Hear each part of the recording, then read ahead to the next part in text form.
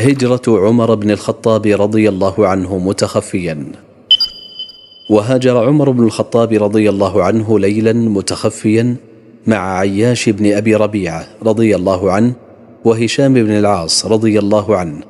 أخرج ذلك ابن إسحاق في السيرة بإسناد صحيح. وأما قصة هجرة عمر بن الخطاب رضي الله عنه علانية وقوله من أراد أن تثكله أمه أو ييتم ولده إلى آخره فهي رواية ضعيفة لا تثبت.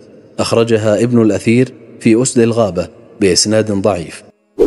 لم يمضي شهران على بيعة العقبة الثانية حتى لم يبق بمكة أحد من المسلمين إلا رسول الله صلى الله عليه وسلم وأبو بكر رضي الله عنه وأهله أو عاجز عن الهجرة.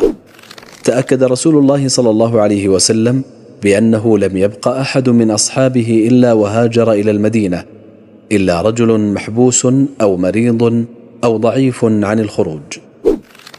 أبو بكر الصديق رضي الله عنه يستأذن بالهجرة. كان أبو بكر الصديق رضي الله عنه كثيرا ما يستأذن رسول الله صلى الله عليه وسلم بالهجرة. فقال له رسول الله صلى الله عليه وسلم لا تعجل لعل الله يجعل لك صاحبا.